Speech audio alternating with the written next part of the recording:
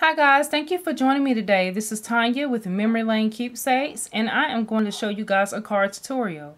This is one of the cards that I chose to show you guys how I design. This card here was actually featured in another video. Um, this is one of the cards that one of my subscribers won on one of my giveaways. So I want to take you guys through the process and show you how I designed this card. So thank you for joining me today. Alright, so this card I actually used the Harvest Mouse Harvest Mouse stamp set from my favorite things. And some of the different things that I used to do this card was these different cardstocks here. And so these are all the pieces you're going to need. You're going to need this small piece right here. And as you see, it has a bit of a stitching, double stitching.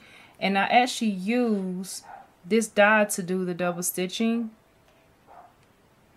And then I actually have this white piece of cardstock and I use this die right here, the biggest um, double stitching die. It's my rectangle. Then I also have this red cardstock here and then this blue card that's actually been scored and as well as um, I use my bone folder to fold it and as you see you can open it up. So those are the four pieces you're going to need to get started. Alright, so now I'm going to show you another tool that I'm going to be using. I'm going to be using my Stamp Perfect today. And as I go through to make this card, I'll show you guys the other um, different materials that you're going to need to be able to go ahead and do this card as well. Okay, I'm going to go ahead and set these other pieces to the side for now.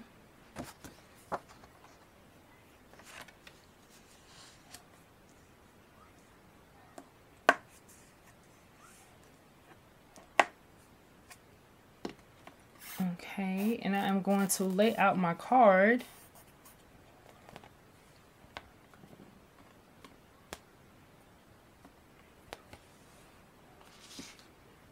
Alright, so the first piece I want to use here, I'm going to position them all.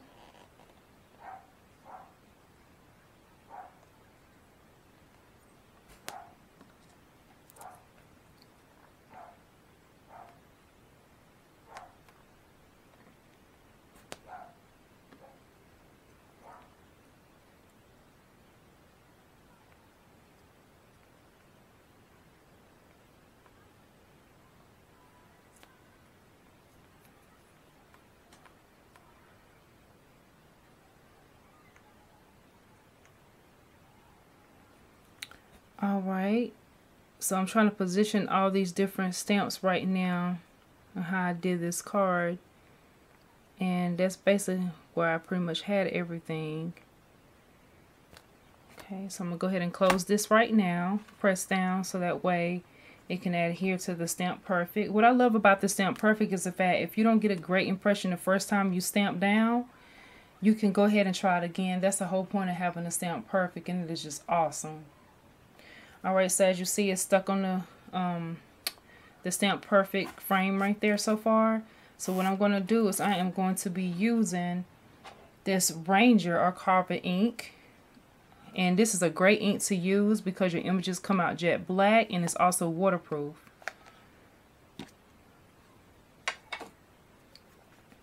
So I'm going to go ahead and get these images stamped here.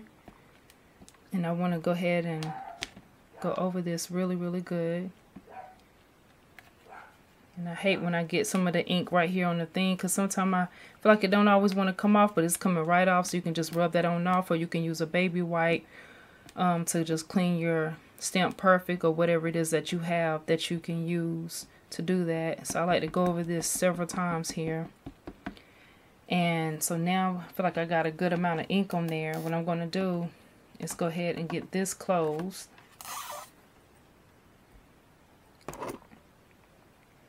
And I'm going to stamp my image down.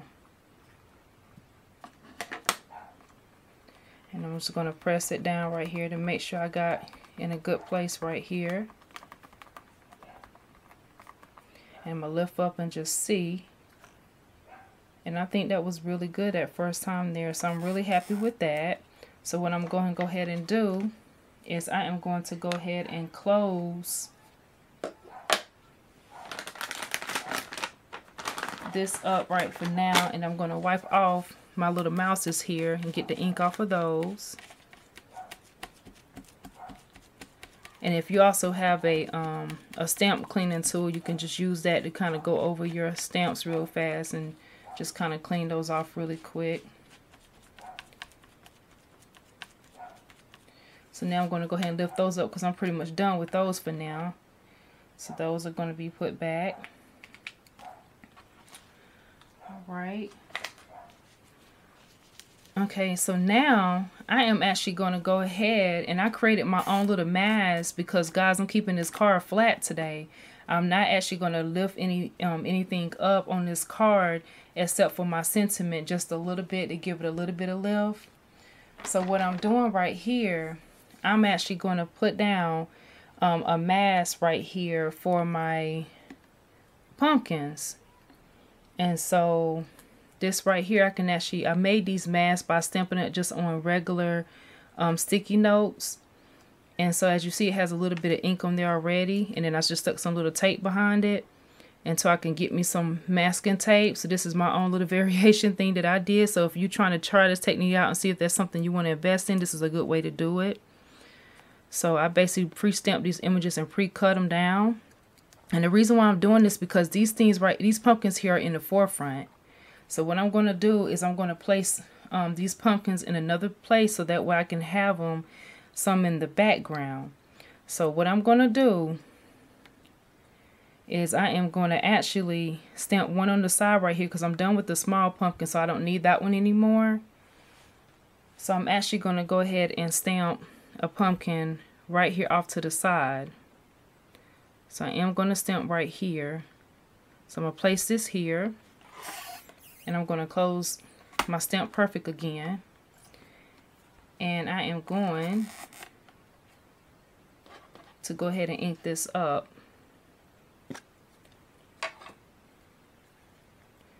So that way I can have another impression for getting ink on here Let's see here there we go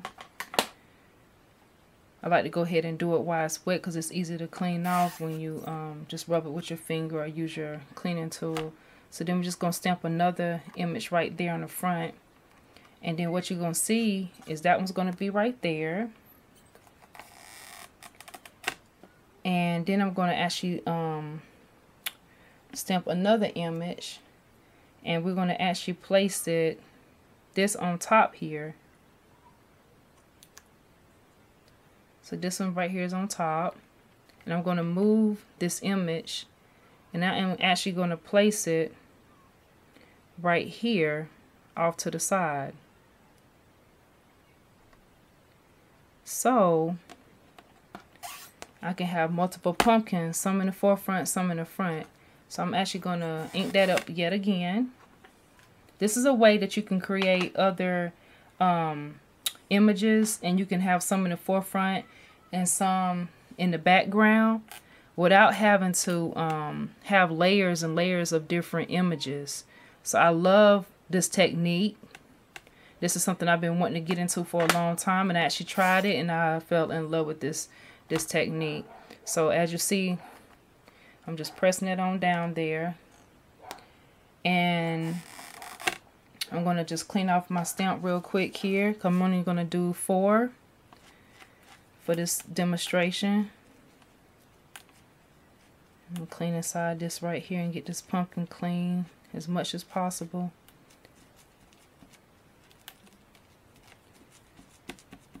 Okay.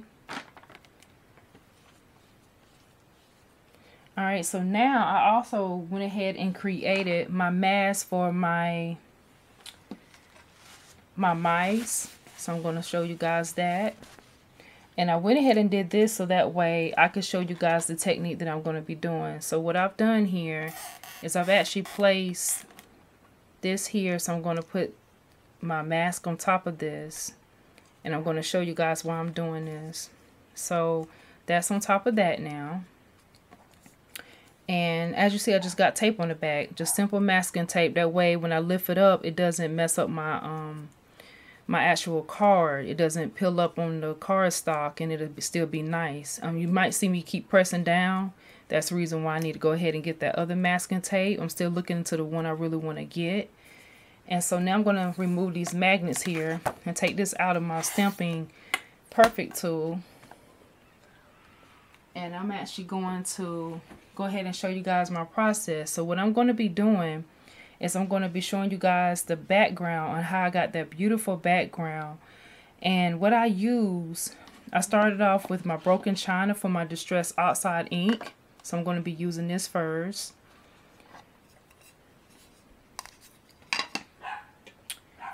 So let me go ahead and just go ahead and get some of that on there. So we're going to be doing the sky effect. And so what I'm going to be doing is basically doing it like this.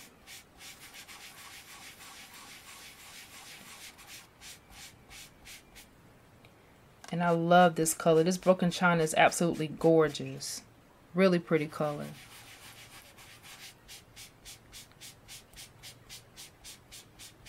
And so it's real easy. Just use your blending tool and you just go over it as much as you want.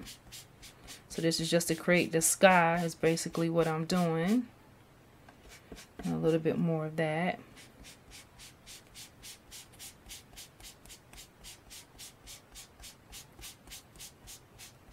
I like to get in those corners really nice too.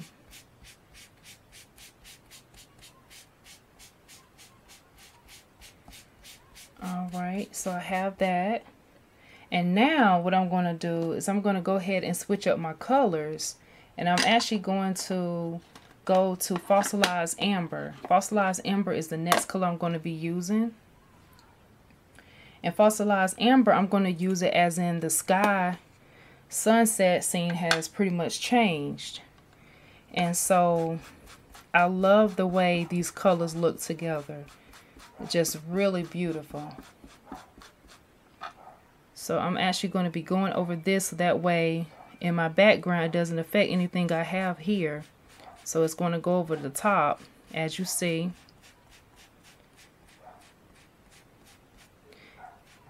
And I really love this technique. It's just absolutely gorgeous.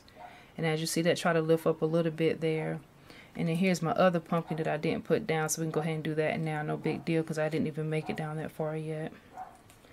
Alright, so that way when I come over that side, it doesn't hit that. Alright, so we're going to go over this part here.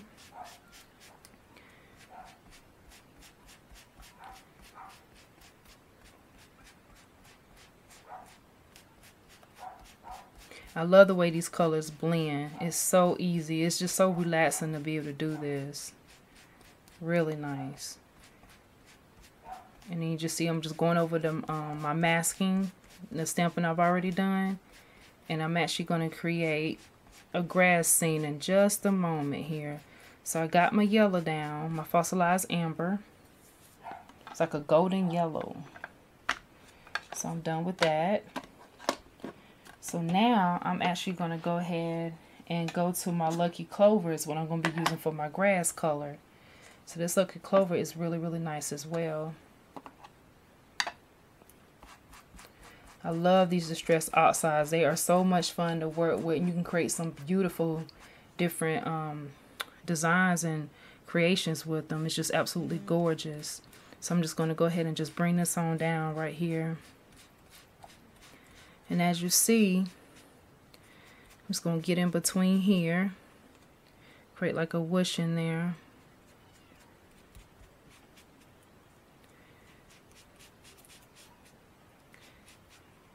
Okay.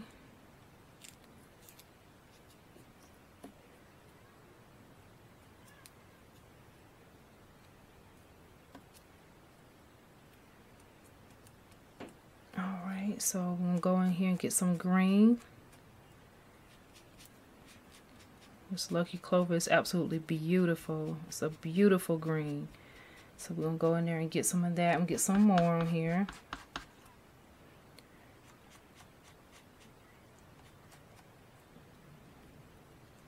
And you see me holding down my little mask that I created, which you can do that.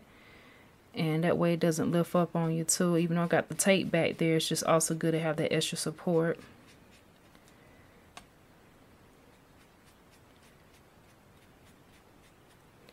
And I'm gonna get a little bit closer into this mouse right here. These little mouse are just so adorable. I love how they're just carrying little things and getting ready for the harvest. It's just I like this stamp set it's really really nice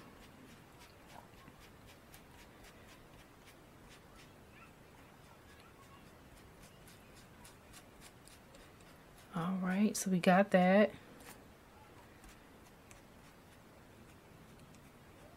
All right, so we have that done. So that's my um, Lucky Clover for my grass there.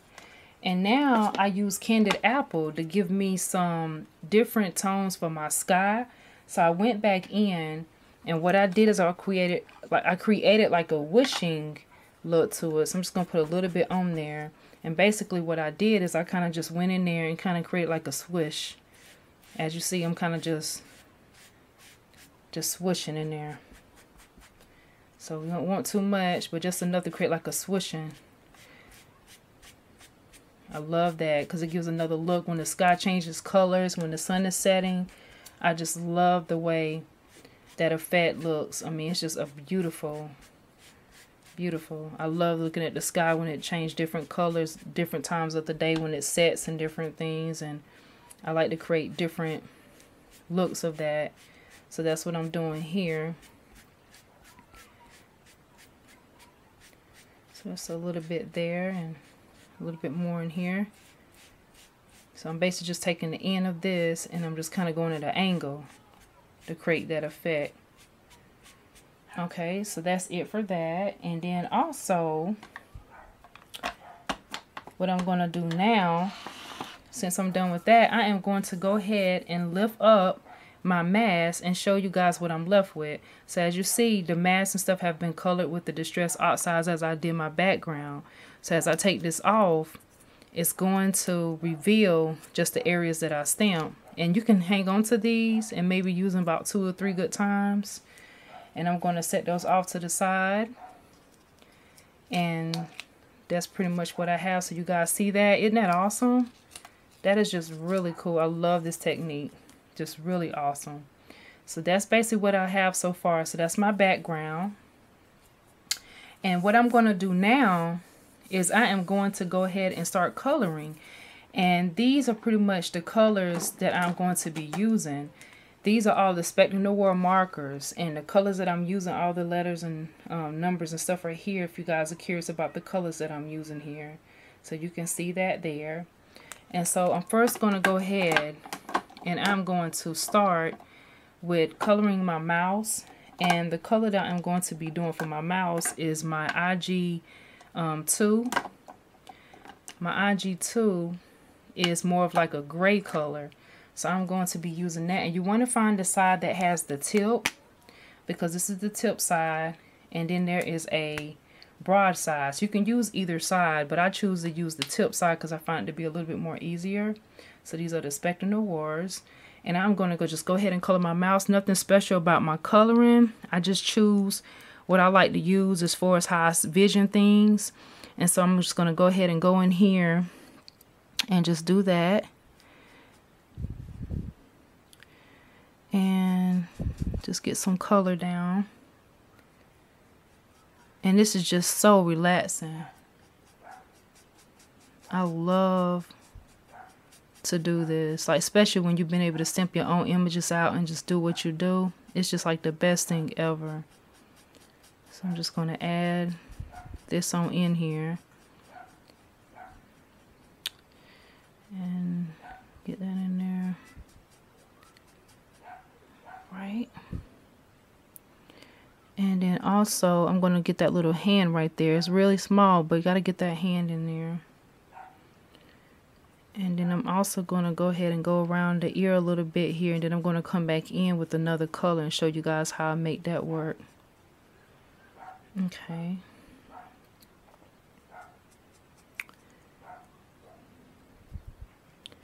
And if you hear my Yorkie poo in the back, that's because we have some neighbors that's having a gathering today. And it's real noisy because there's a lot of kids from the party outside just having themselves a good old time. And my Yorkie poo doesn't like the fact that they're too close to the house. So, oh, now get this tail right here too. I'm come back over here and get that tail. All right. So he's protecting the house. Little dogs are hilarious to me because they're so big in their minds, but they're so small but have a big heart, you know? So I have this right here. Get this all down.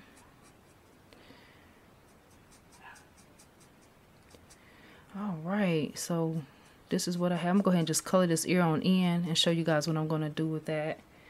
All right, so that does it for this one here. Okay, so next up, I'm going to go ahead and get that ear. And so what I went ahead and did is I basically just went in. And when I did this, look how it creates that effect in that ear. It's just really nice. I love the way that looks. Not too much, just real soft. And this color here was the PP3 that I'm using. And I'm going to create it also right here because it needs it to give that highlight.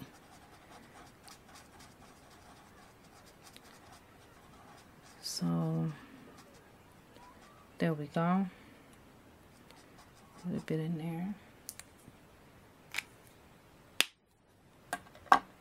Okay, and then I'm also going to go ahead and get the pants done here. I pretty much kept the, um, the colors the same as far as um, how I did the um, the little outfits on the um, the mouse or uh, the mice here um, simply because I didn't want the car to have too much going on. So I basically went with a um, TB5 to do the pants for this one here. And I really like this these colors because it actually has your eye um, go in different places here. But I'm going to show you how you can uh, take something that looks similar and switch it up too. So as you're going to see, I'm going to jump over here and do the sweater on this mice in the same color since I already have this color out. So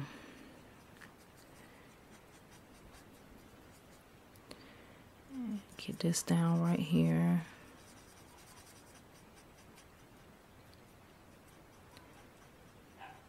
And I normally spend a whole lot more time doing my cards, but I'm just trying to speed it up to show you guys my process of basically what I did to um, definitely get this card process done here. And then I also um, use this right here. This color here is DR3.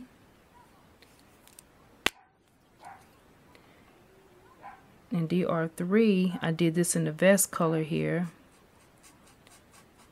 Real pretty red. This is gorgeous. I love the way this pops. It's like the little mice workers trying to gather all the, the food for the harvest.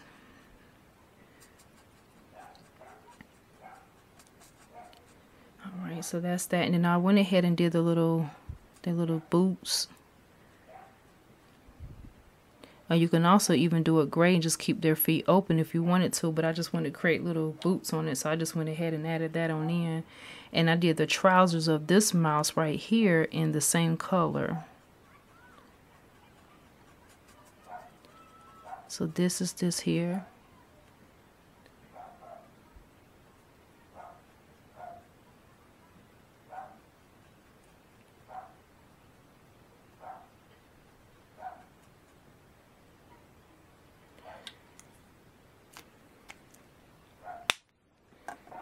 Went in with this blue right here, which is TB3. This is a really, really light blue. So I went ahead and did the vest of this one here. And then I also got this little area here. That's part of the vest.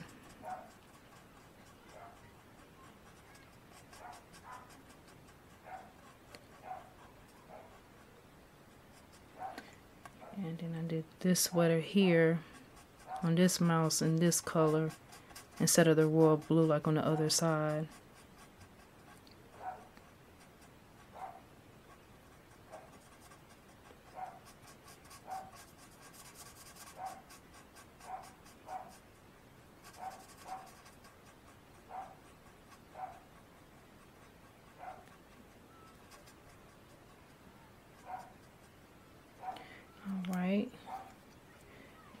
The boots in the same blue for this one here. Okay, then I went in and I did my basket. Um, my basket full of cherries right here. This right here turned out really, really nice. So I went ahead and I did this process here for for my basket. And this is um, TN7 is what I'm using. So that's for this one here. And I just pretty much just added the color on in. And I'm going to show you how I'm going to go back and highlight that in a little bit better. So this process, it's a lot going on with this card, but I absolutely love how I use all the different um, pieces and enhance the different colors. And while I have this out, I'm going to go ahead and do these stems of these pumpkins. And this one here is sitting on top of this one, but that's fine because you do see some pumpkins at the pumpkin patch sitting on top. Even though it was supposed to have been off to the side, it's no harm, no fouls. You know, you can pretty much do your card any kind of way you want. And I actually kind of like it stacked. That's really neat because you do find some pumpkins that may be stacked sometime. And I also did this one here, which is OR1. That's what I use to color the pumpkins in. And that is not the side I want to use, but you can use it if you choose to. So, this is what my pumpkins, really nice.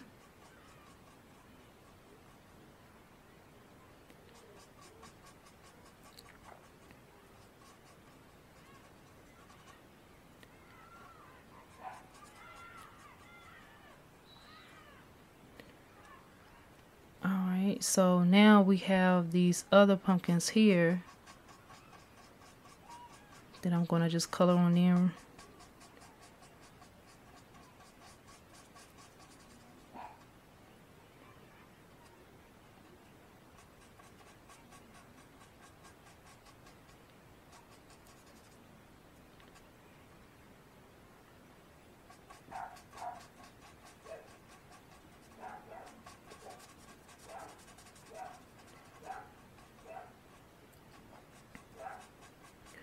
So it's just adding color. That's all you're basically doing. You can color any way you want to. You can do your shading if you choose to. If you just want to keep it simple like I'm doing here feel free to do what you know what you feel comfortable with. So again I'm just doing this really fast. I usually spend more time like I said before but I'm just trying to demonstrate to show you guys my process of what I pretty much did. So this is pretty much the process here. So that's what got my pumpkins done there and then I also went ahead and I added some, um, the same one DR3 to do the cherries. So I went ahead and just did the dots on in there and then dotted all the cherries up. And that's how I got the cherries. So this is the process on how I got all my coloring done. And I am so happy with how it turned out so far. So I'm going to come back and show you guys how I'm going to add some more detail to this card. So stay tuned and thank you so much for joining me for this first part. Thank you for watching.